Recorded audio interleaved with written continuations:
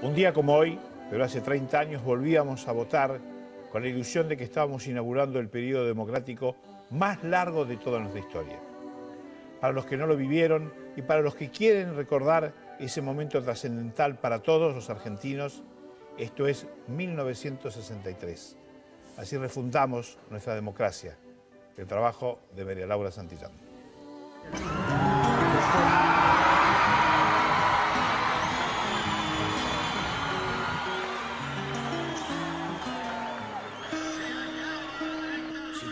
En la locura de la garganta del sinsonte.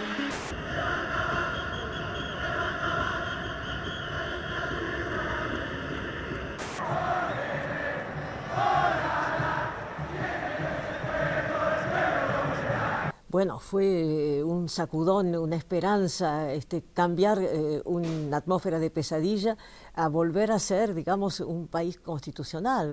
Con Frigerio. Haga urna de vida. Van a entregar un país fundido. Era un clima de euforia democrática.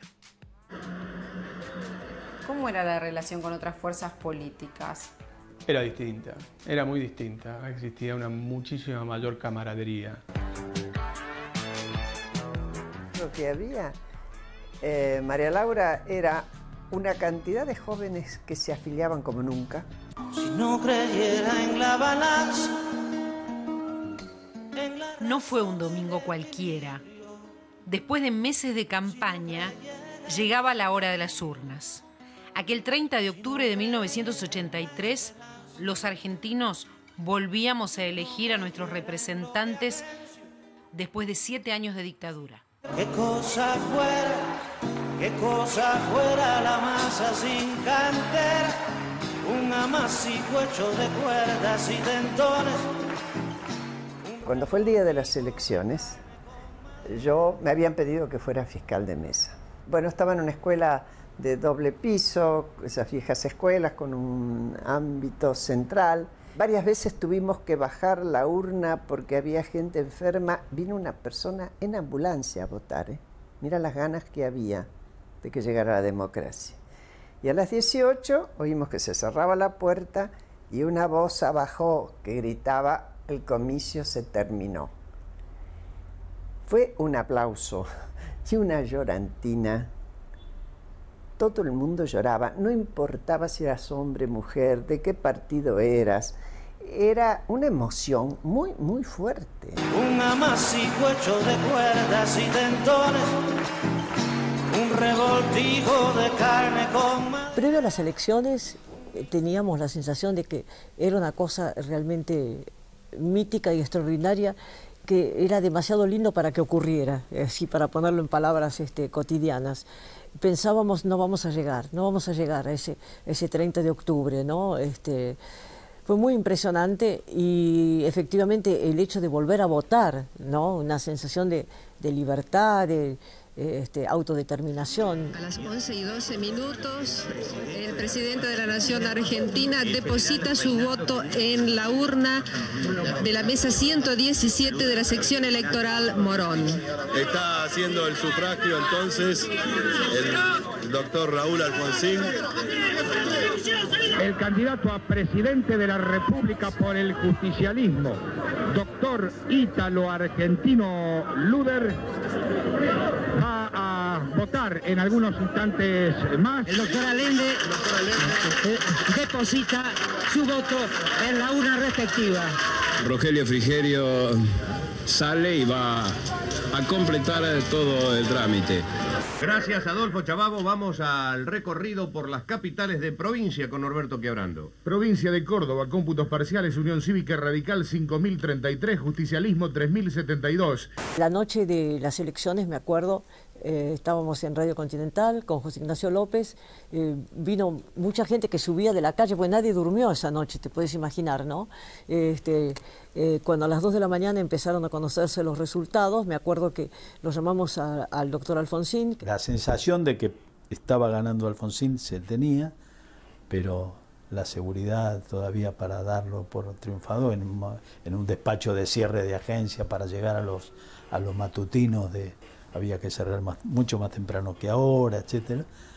Y seguimos la transmisión. Magdalena se acuerda mejor que yo. Sobre todo lo que más nos conmovía era que habíamos vuelto a la Constitución Nacional. Esa sensación de volver a la legalidad inolvidable. El triunfo del radicalismo fue contundente. Libertad, hermana de los amigos. Más del 51% del electorado votó por la fórmula integrada por Raúl Alfonsín y Víctor Martínez. El peronismo había por primera vez en toda su historia ante un candidato radical. Argentinos, se acaba la dictadura.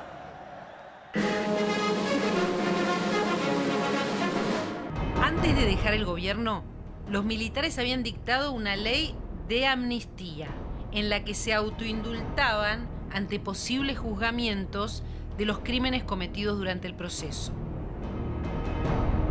Y ahí el candidato justicialista que era Luder, Ítalo Luder, dijo que esa ley no se podía eh, declarar nula, que era legítima, y por lo tanto que ellos la iban a respetar. Creo que es una de las razones por las cuales ganó Alfonsín, ¿no? Alfonsín distinguió siempre las responsabilidades.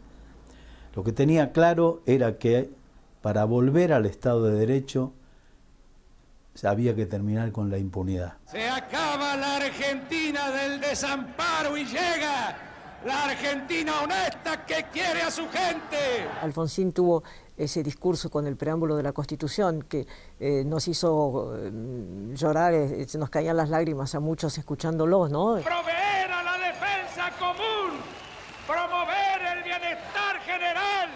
Y asegurar los beneficios de la libertad para nosotros. Cosa muy, muy inolvidable. Pero hubo un hecho también este, que fue eh, yo creo que muy fuerte cuando Herminio Iglesias quemó el cajón en, en la 9 de julio, ¿no es cierto? Ahí este, eh, realmente eh, la palabra nunca más este, apareció creo que en el corazón de muchos de nosotros. Para muchos, la derrota de Luder tuvo otro responsable. En el acto de campaña, Herminio Iglesias, entonces candidato a gobernador de la provincia de Buenos Aires, le prendió fuego a un pequeño cajón fúnebre con el emblema radical y así agitó los peores fantasmas. La verdad es que es una construcción falsamente mítica que se perdió por el cajón de Herminio Iglesias. Porque en el momento en que lo enciende Luder, se enciende el, el féretro, eh, Luder ya había terminado de hablar y la mayor parte de las transmisiones en directo de aquel entonces ya habían cortado.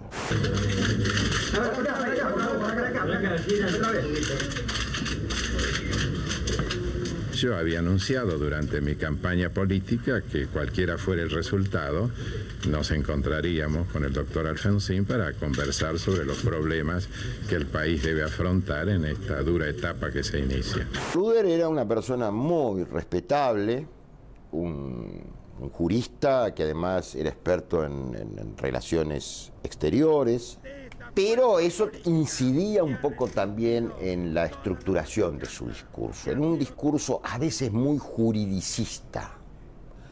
Y cuando se está en un clima de efervescencia, como se estaba entonces en una campaña, hay muchos peronistas que dicen que Alfonsín parecía el candidato peronista y Luder el candidato radical, digamos. Esto es la verdad.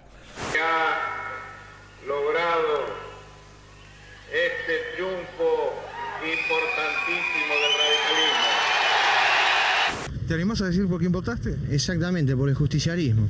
Vengo a compartir con los amigos radicales acá el, el triunfo de la democracia. Lo que quisiera, eh, ya que usted me permite este medio, es con este compañero radical un abrazo. Eso.